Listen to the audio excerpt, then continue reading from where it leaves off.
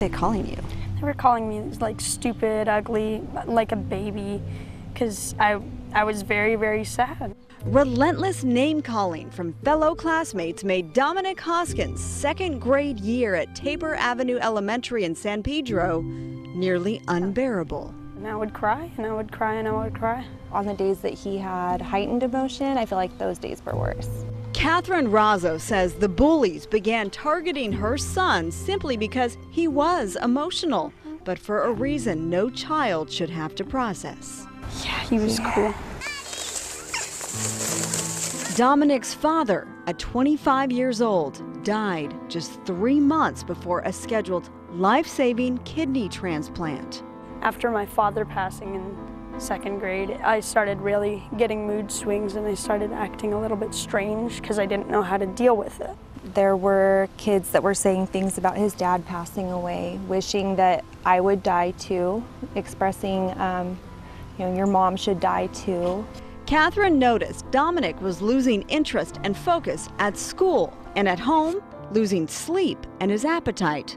All warning signs your child may be a victim of bullying. Once I was in about fourth grade, I started having really, really bad anxiety. Whether it is a disability, a, a recent loss in the family, Dominic's case is a classic one, according to Dr. Shannon Wasley, an assistant psychology professor at the Chicago School of Professional Psychology in Los Angeles. She says when a bully picks on someone repeatedly, it's all about power. it could have even been a target because there's a previous divorce in the family that, you know, they see something that's different than them and they feel that they have the power over that person. What's the first step that a parent needs to do?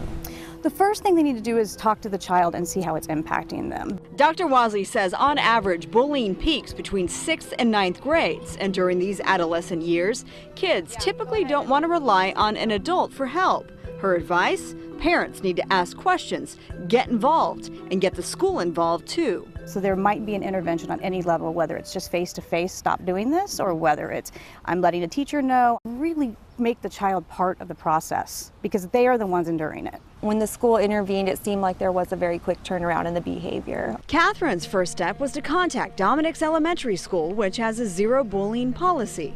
Disciplinary action was taken, and eventually, one of his bullies was expelled. Do you remember singing with him like that? Yep. Over the years, Dominic has found relief from his lingering depression and anxiety through therapy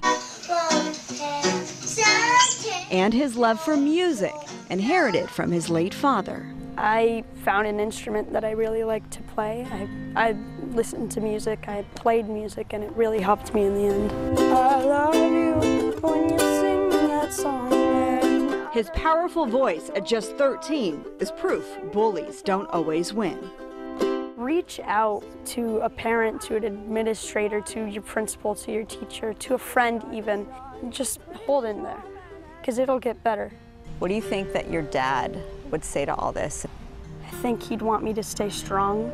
You know what I think? I think he's extremely proud. Thank you. Oh, I got a lump in my throat, cause gonna sing the words wrong. In San Pedro, Marla Tellez, Fox 11 News.